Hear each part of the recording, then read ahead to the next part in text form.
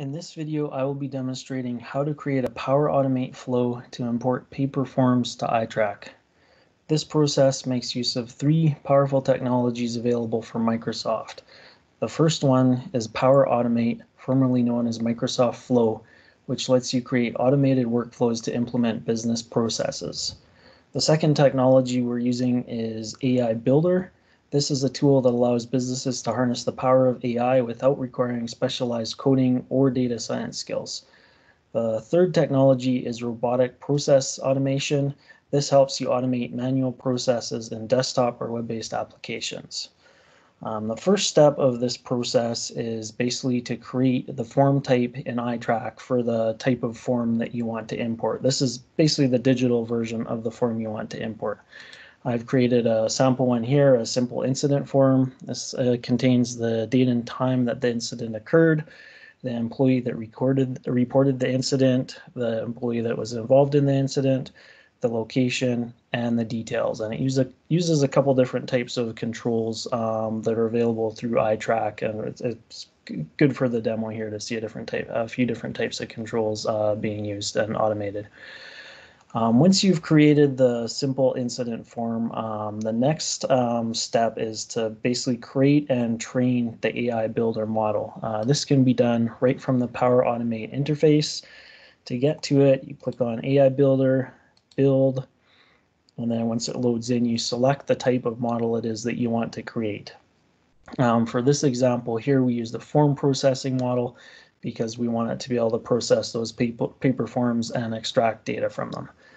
Um, I've already created a model here, so I'm just going to jump to that quickly. Um, I, this is basically a form processing model for the simple incident form. Um, you can see here um, an example of one of the training documents. Um, you do need a number of documents available, uh, actually a minimum of five in order to train the AI builder model.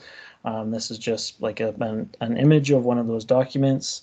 Um, once you've finished training the AI builder model, you're presented with a page that lets you go through and customize the automatically detected fields or select and deselect ones based on what it is that you need to be imported from that form. And this uh, model here, you can see the selected fields or the occurred date and time, the reporting employee, the involved employee, the location, and the details.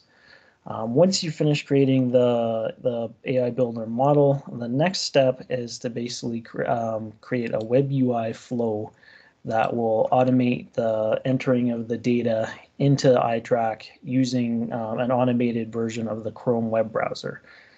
I have one that's created here as well, but um, when you are initially creating one, you have the ability to record a flow. So you can basically create a new UI flow um, and then you know start recording the, the process of going through an ITRAK form, filling out all the fields. Um, once you finish doing that, you'll end up with something like what you see here. Um, the first step here you can see here is basically opening the URL to the form that you want, want to enter data to. Um, after that, it basically clicks on the field with the occurred date and time and basically types the value into that. What you see here is a defined variable. So what this means is that this will be populated by a dynamic value, which will be the data that's uh, passed into this step from the AI builder, which will detect it and extract it from your form. And uh, basically the next step we see here is selecting the first employee field, which is you know the employee that reported the incident. And again, we want to select that employee based on a variable that's passed into this step. Same with the second um, employee label, which will be the employee that's involved in the incident. Um, the next one is basically clicking on the location label, you know, setting the location and typing the information into it, and then saving and closing that location pop-up. And the final um, set, uh, field for entering the data is the details field that basically just clicks on that field and will type the data into it automatically. Once all the data has been entered, the save link is clicked to save the form, and then the web browser is closed. In order to tie all of this together, we're going to, um, or, or you would need to create a Power Automate flow. In this example, I've already created a flow here, so we'll just open that up and edit it.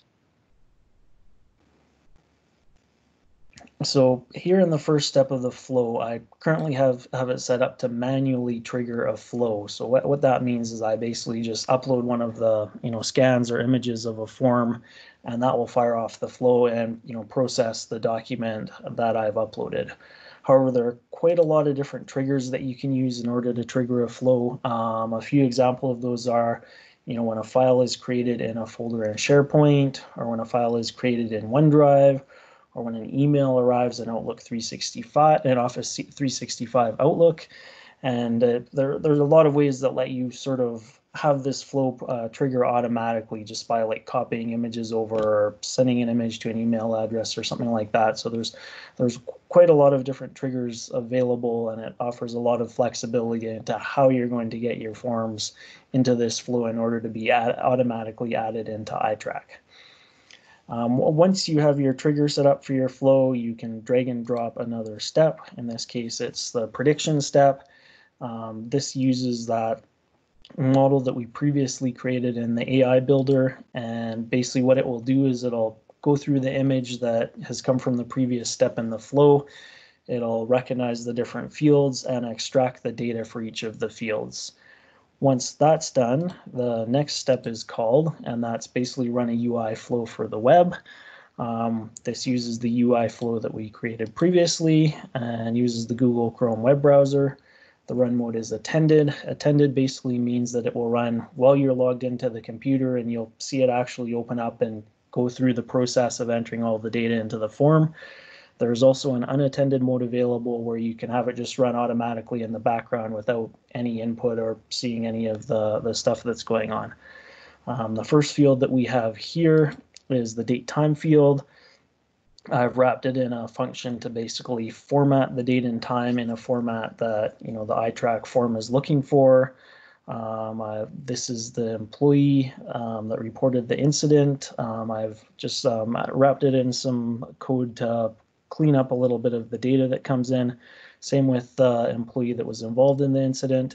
And you can see the location and details fields just take the value that's you know pulled straight from the form by the by the AI builder action. Um, basically, once we have all of our actions set up, the next step is to actually run the flow. In this example, I'm going to choose that I'll perform the trigger action, which in this case is just uploading an image um, just so you can take a look and see the image that's being uploaded. This is a sample version, a sample paper version of the ITRAK incident form with some fairly messy printing, just so it gives the AI builder a, a, a little bit of work to do to see how well it can pull the information out. Um, so what I'm going to do is I'm going to upload this image to my flow now and I'm going to select the document type. It's a JPEG image, and then I will go to run flow. Once your flow is running, you can go to the flow runs page. And what this will do is it'll actually give you a live view of what is happening with your flow. So you can see how it's running, how fast each step to, how fast each step is going. And once it hits the UI flow, um, you'll see a window pop up this is basically running the UI web flow, which is automating the input of the data with Chrome. And the source for this data, again, is that image. Uh, it's been extracted. Uh, the information has been extracted from that image using AI Builder. And it's pulled out the information on which fields have which data. And it's basically just going through and automatically populating it for you. And once it's finished uh, entering all the information, it saved the form and closed the window. Um, one thing that's actually very powerful about this flow runs page as well is that it lets you track all the inputs and outputs that have gone into and out of each of your steps. So if you're having any problems with your flow or something's not quite working correctly, you can view all of that information here. So if we go to the UI flow for the web, you can see all the inputs here. Um, you know, the web browser, you know, the date time field, the reported by employee involved, the location, the details, and basically the outputs from that step as well that can go into other steps as well if you do need additional flows. Um, this pretty much covers all the steps of you know setting up an automated flow to import paper forms to ITRAK. Uh, thank you for watching, and if you do have any questions or are interested in setting something like this up for your environment, environment, uh, please reach out to your ITRAK consultant.